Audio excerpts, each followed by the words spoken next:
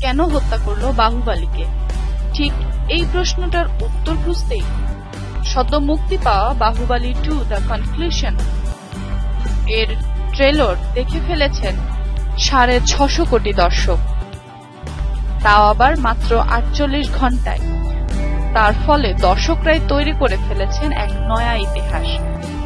এখন পর্যন্ত most watch এর তকমা লেগে গেল পরিচালক এস এস রাজা মৌলির এই নতুন ছবিতে।